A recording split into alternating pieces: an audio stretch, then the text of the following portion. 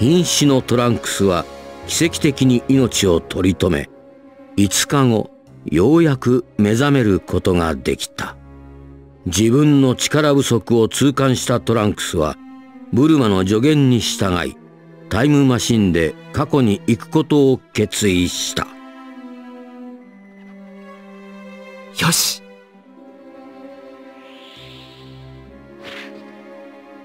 心臓病の特効薬。間違いなく孫君に手渡してあげてね。あまり無理しちゃダメよ。はい。母さんも気をつけてください。じゃあ頼んだわよ。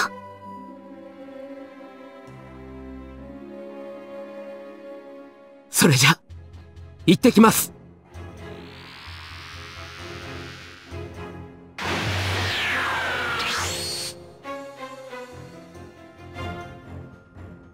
こうして過去に向かったトランクスは地球を襲撃に来たフリーザたちを撃退し若かりし頃の父ベジータや母ブルマらと出会うその後地球に帰還した悟空に心臓病の特効薬を渡し3年後に起きる人造人間襲来を警告するという目的を無事に果たした。トランクスは別の世界の未来に変化が起きることを期待しつつ母の待つ現代へと帰還した。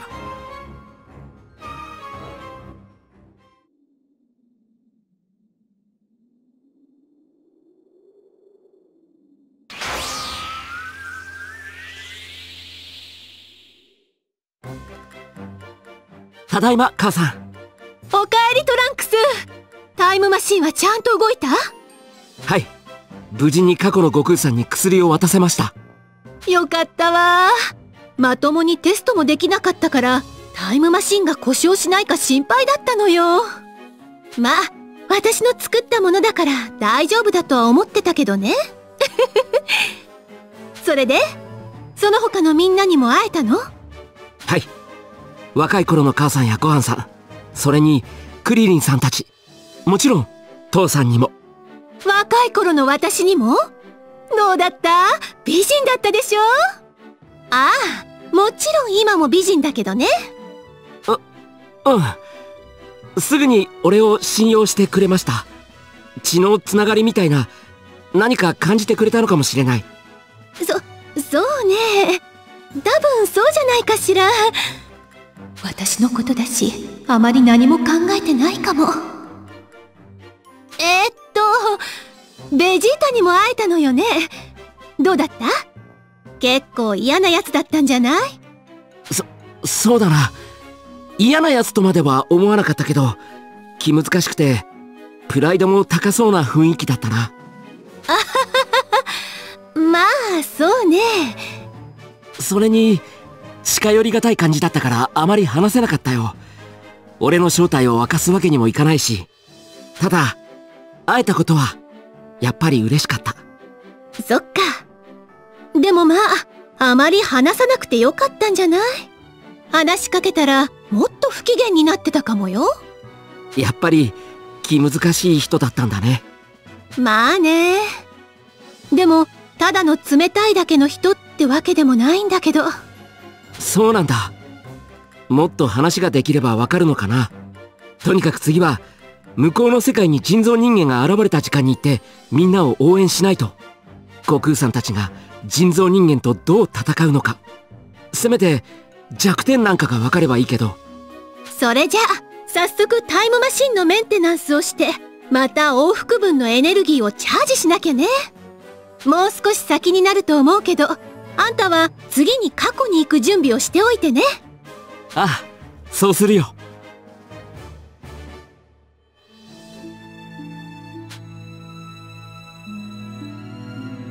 エネルギーのチャージには時間がかかるし俺も次の戦いに向けて鍛え直さないとな。タイムマシンのエネルギーチャージが早く終わればいいんだけど。もう大丈夫なの？でもエネルギーがチャージされるまで時間がかかるから少し待ってね。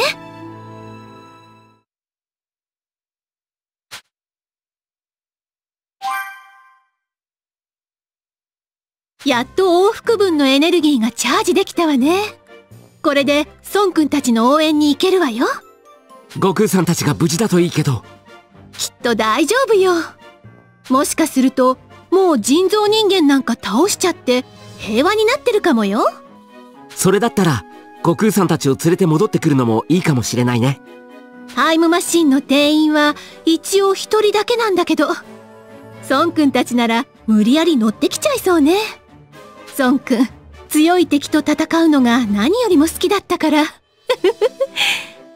確かに、悟空さんのあの性格なら、そういうことをするかもしれないな。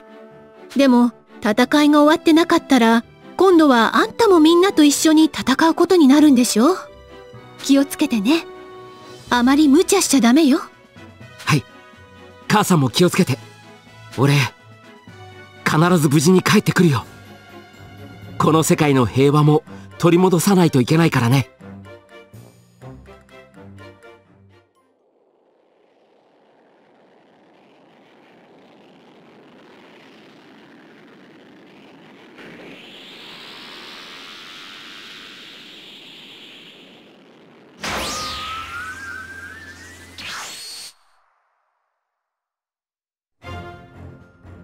こうしてトランクスは再び過去へと旅立った。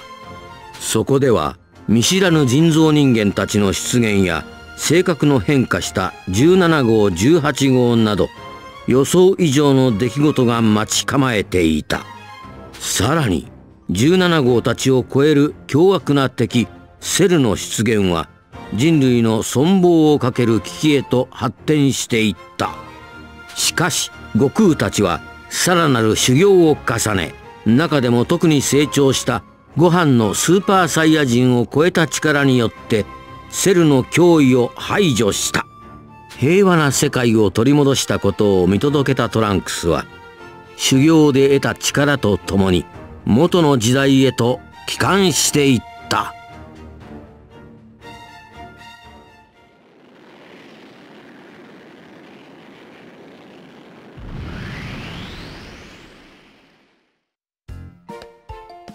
母さん、ただいま。おかえりトランクス。ちょっと、どうしたのよ。なんだか大人っぽくなったんじゃない？はい。神様の神殿に、精神と時の部屋っていうところがあって、そこで修行すると、1年間がたった1日で過ぎちゃうんです。なんだかよくわかんないけど、どっちにしてもよかったわ。無事に帰ってきてくれて。で、どうだったの？その顔だといいことあったみたいだけど。はい。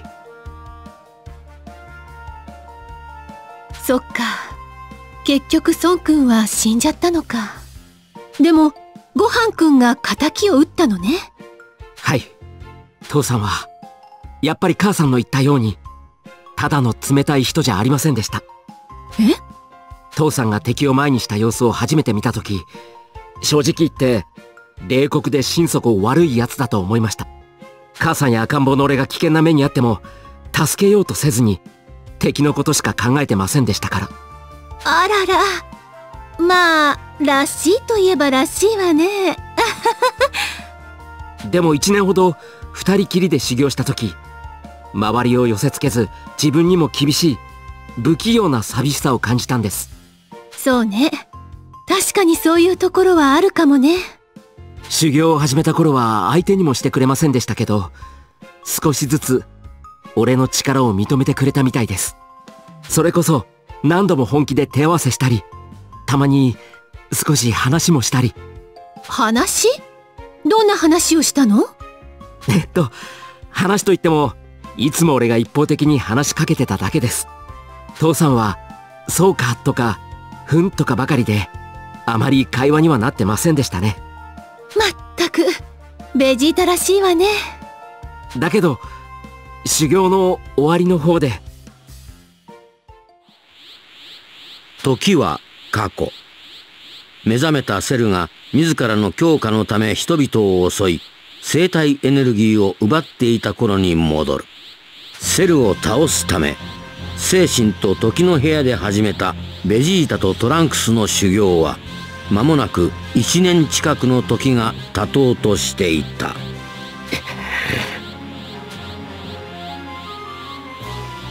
全力で来い。はい。父さん行きます。分かっていると思うが脱走しなど許さんぞ。分かってますよ。私を出しないいかそれは父さんのことですか？それとも俺ですか？いいから続けろくそったれ俺がこんな攻撃を食らうとはな。いいだろう。大体の感触はつかめた。だがやはり足りんな。お前は当然としてこの俺もだ。父さん。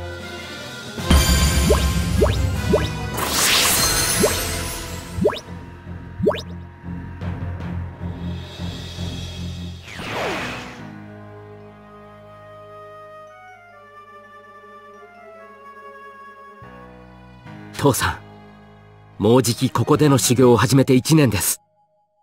そろそろ悟空さんたちと交代する準備をしなければ。まだだ。もっと絶対的な力がいる。予定ギリギリまで時間を使わせてもらうぞ。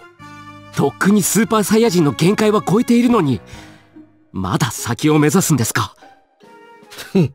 セルをぶっ倒しカカロットの野郎も超える圧倒的な力を得るにはまだ足りんこれ以上の説得は無駄かな。父さんは自分が納得するまで修行を終わらせないつもりだ。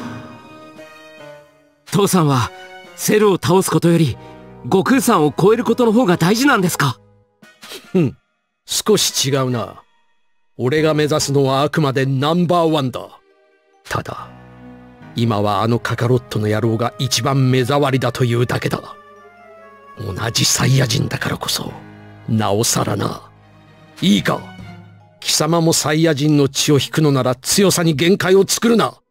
常に上を。ナンバーワンを目指せ。